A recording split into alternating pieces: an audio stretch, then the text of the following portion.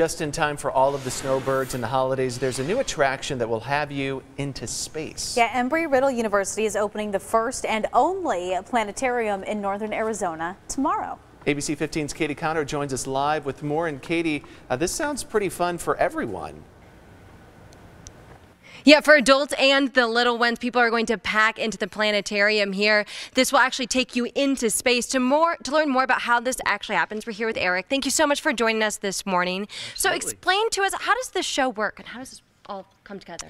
So we like to start someplace that's a little bit familiar. So we're in this gigantic yeah. dome where above you there's the universe. So we like to start at Earth, someplace that I think a lot of people have been before. Right, so exactly. We, we start there and then we head to different places across the universe. Okay. Like for example, I'm going to take you guys to what rumor has it is Neil deGrasse Tyson's favorite planet. It's gorgeous to see through a telescope, but it's also pretty cool to see in this planetarium right here. It's a planet that's less dense than water. So if you put it in a bathtub, it'll float, but be careful with doing that because it'll probably leave a ring. Okay. Because this one that we're going to head toward is Saturn. Okay. The gorgeous ringed planet. It's absolutely beautiful.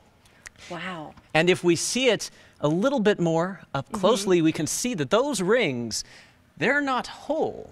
There are different pieces. There are small pieces, oh, microns wow. to meters in length that surround this planet wow. that are going round and round. It's a beautiful view, something that we can't see when we look really close with a telescope. So yeah. this is exciting. No, this is absolutely incredible. And it's tough to see right now, I know, but when we first walked in, my photographer, into the planetarium, you just, you kind of take a step back because the entire dome is lit up like the night sky. It is definitely something you will want to check out. Coming up at 5.30, we're actually going to talk with someone about when the shows will start and how the entire community can actually come see these shows. Back to you guys.